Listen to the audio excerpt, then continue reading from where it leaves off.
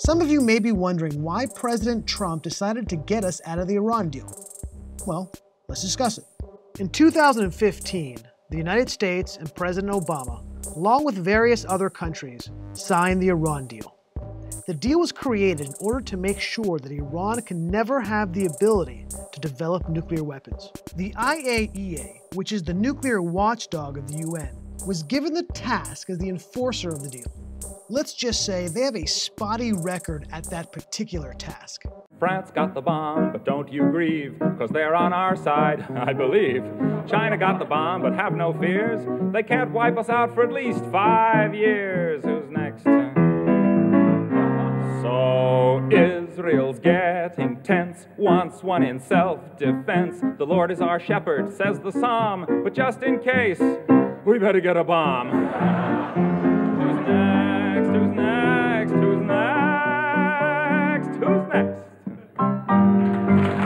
The Iran deal has been lauded as the only thing standing between Iran and a nuclear weapon.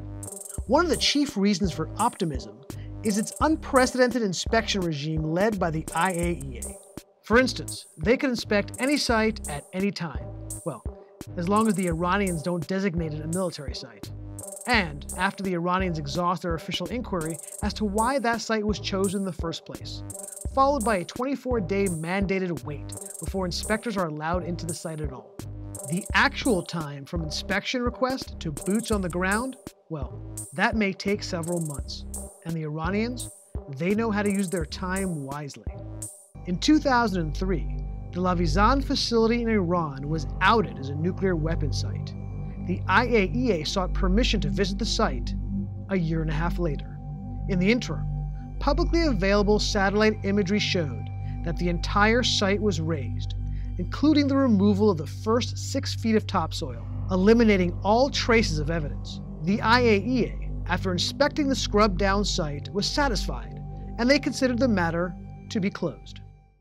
But I didn't. Now, I'm not a nuclear expert, but um, I am playing one in this movie.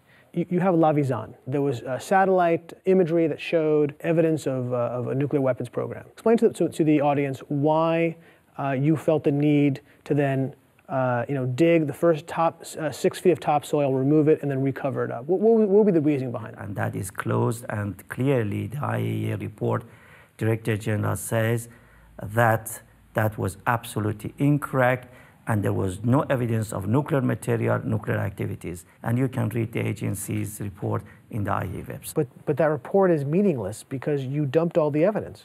No evidence, you can go to the website, and if, I, uh, if you're interested, I can show you and give you a copy of it. Then why, why, why raise the area and then cover it with, with soil?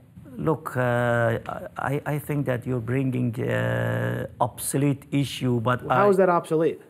Uh, that's very old stuff. The important thing, as I, I, go back again, rather than you and me discuss about it, it is better to leave you the experts, inspectors. It's supposed to sound the alarm when uh, illicit nuclear activity is, is discovered, but so far it's been very reluctant to do that. I think it's, it's established, it's clear, you're not building nuclear weapons. I think you made the argument very fine.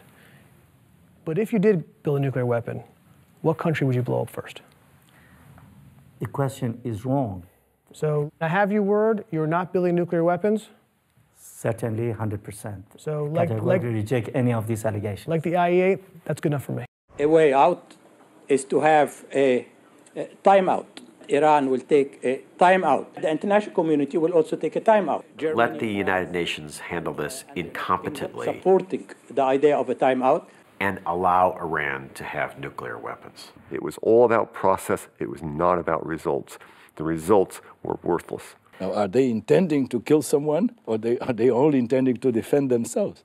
But how do you know whether they have that intention or not? It's impossible no, to, to say no, such and such a country has that intention. No?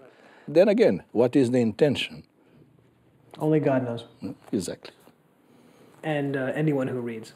So Americans can sleep soundly. Not only Americans. I hope that everyone else also can, That's true. can, can, can sleep soundly. The IEA is on the, is on the watch. Yes.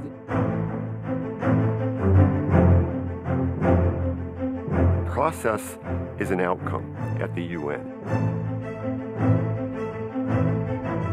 It is a way of avoiding and kicking a problem down the road. A single country like Iran can play to that. They can say, all we need to do is buy some time. And the Iran deal did just that.